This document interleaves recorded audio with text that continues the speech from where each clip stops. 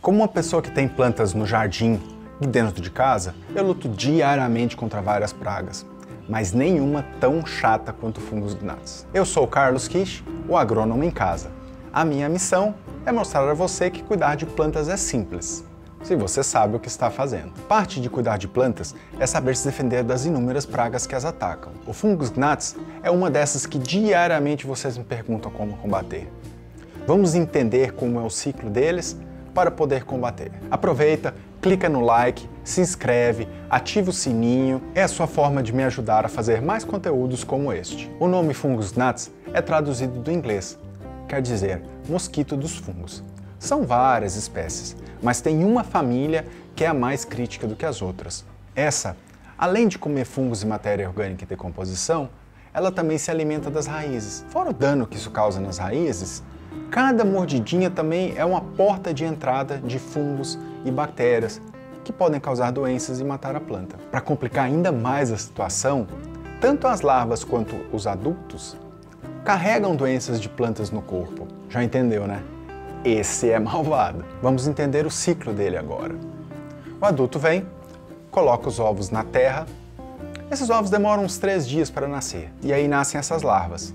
Elas têm até um centímetro, são assim brancas, transparentes, cabecinha preta e elas se alimentam muito. Essas larvas vão ficar duas semanas comendo e crescendo.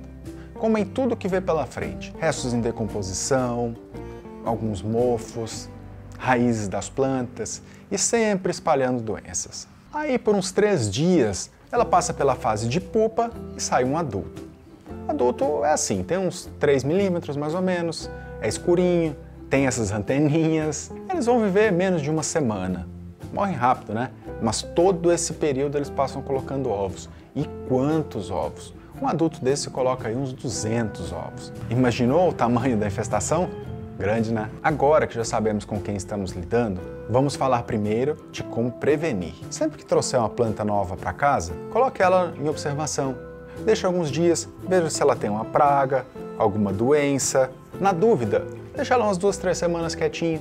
Muito melhor do que você contaminar suas outras plantas com uma praga que elas não tinham, né? Não use matéria orgânica que não foi compostada antes. Se você tiver um esterco, um composto, tenha certeza que eles estão bem curtidos. E em especial, não use água de arroz, batida de casca de banana com borro de café. Esses produtos, eles vão apodrecer na sua planta e eles são o meio ideal para o desenvolvimento do fungus gnats. Você quer aproveitar esses restos? Sem problema, mas faça uma compostagem antes. Garanta que estão bem curtidos e decompostos antes de colocar na sua planta. Cuide da irrigação. Evite deixar a superfície do seu substrato muito úmido. E não irrigue em excesso. Parece óbvio, né? Mas em ambientes de alta umidade, tem mais crescimento de fungos, mais apodrecimento de raízes. E esse é o ambiente ideal para o fungus gnats. É claro, né? Você não vai deixar sua samambaia secar, seu lírio da paz ficar todo xoxo porque você não está molhando. Mole de acordo com o que a planta precise, tá? Você pode também usar armadilhas para capturar os adultos por exemplo, essas armadilhas de fita, ou você pode colocar diretamente nas suas plantas. Algumas armadilhas amarelas com óleo, com vaselina. Essas armadilhas atraem os insetos e prendem os adultos. Veja essa aqui, ó. só no tempo do vídeo já pegou dois mosquitinhos. Ó, são 400 ovos em potencial aí fora dos vasos, tá vendo? Outra coisa que você pode fazer é impedir o acesso do mosquito ao substrato. Pode colocar uma camada aí de uns 2 ou 3 centímetros de areia, de pedrinhas ou de palha, mas tem que ser uma camada grossa, de forma que o inseto não vai conseguir chegar lá. Lembrando que isso é só para o adulto não colocar os ovos. Se tiver as larvas lá dentro, isso não vai fazer nada. Mas e agora? Se você infelizmente já tiver essa praga, como nós vamos controlar? Uma coisa que você pode fazer é usar água oxigenada. Você mistura uma parte de água oxigenada para quatro partes de água, um vidrinho desse tem 100 ml. Você pode colocar num potinho de 500 ml um vidrinho desse e completar ele com água.